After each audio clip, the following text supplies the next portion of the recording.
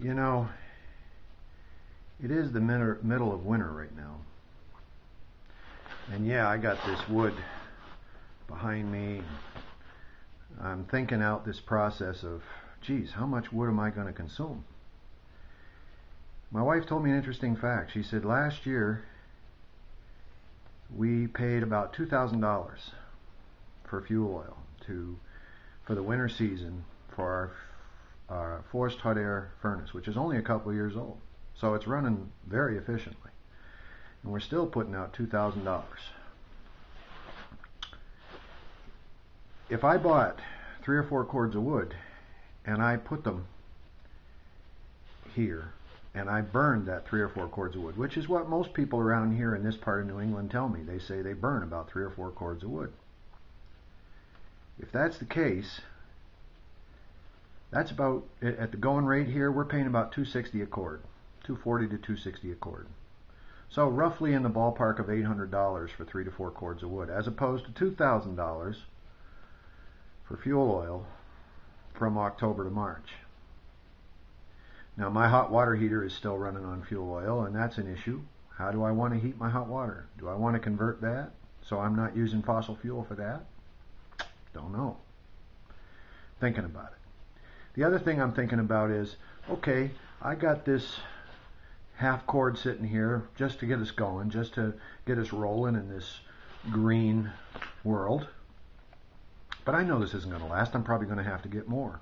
I don't live on a lot of acreage where I can go out and just cut down my own trees at will. I do have some American red cedars in the back and a couple of sugar maples, but I can tell you the wife doesn't want me cutting those down. So I'm going to order wood and uh, uh, have the guys come bring it, season, split, and so forth, and all I need to do is have a place to protect it. So I'm thinking ahead to next year. Yeah, I might order another half cord or another cord just for this year and stock it in the garage here, but I got to think about my my yard. You know, I'm only on a half acre plot in Suburbiaville. I I don't. Sure, I got room. I could put a shed back there, but how big of a shed do I need for three or four cords? Do I need a shed at all? Should I just buy tarps and spend the summer stacking wood and putting tarps over it? What kind of step down procedure do I want?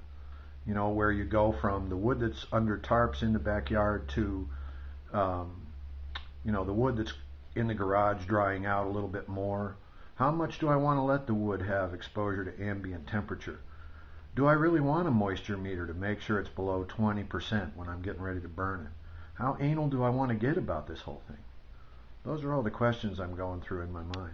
For now, we'll start with this wood that's already seasoned and dry and we'll burn it and see how long and how often we want to burn it. What do these people do that burn wood stoves uh, when they go away from home for more than a day? Do they still kick on their furnace and burn fossil fuel? Are they truly green because they're still burning fossil fuel? It's not a big deal, but it's an interesting question. These are the kinds of things I'm thinking about as we start off on this journey to use wood as a heat source. It's a philosophical thing as well as it is a real tangible thing. Yeah, I love the smell of the smoke. I love the snap, crackle, pop of the fire. Um, I love the hypnotic trance that I can get into, watching the fire in the fireplace. But is that enough? So here I am on a Sunday morning, sitting by the woodpile, contemplating these things.